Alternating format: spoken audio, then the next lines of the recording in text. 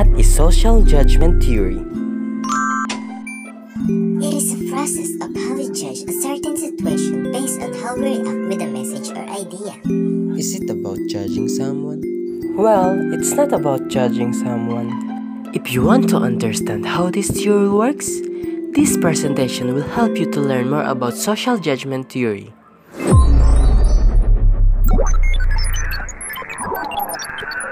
The social judgment theory was first developed in 1960s by Muzafer Sherif, Carolyn Sherif, and Carl Hovland.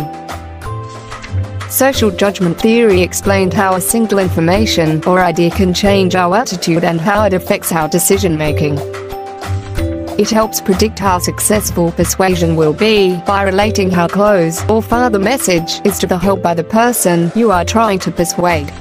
Just like when your classmate persuades you to join in a club organization in the school. How you react in the decision you made with the persuading is how this theory identify which category of your behavior falls on.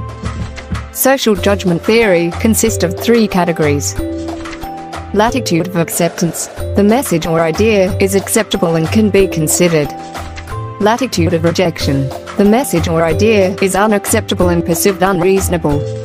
Latitude of non-commitment. The message or idea is neither acceptable nor reasonable.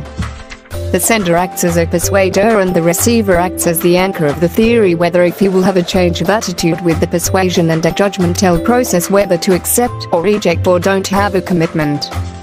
The receiver have the freedom to decide based on their judgment and ego involvement and anchor of their action in accordance to latitude of acceptance, latitude of rejection and latitude of non-commitment. Sender implies a message in a verbal or non-verbal form to persuade the receiver. To put it in a nutshell, social judgment theory is about the attitude change, persuasion, mediated by judgmental processes and effects.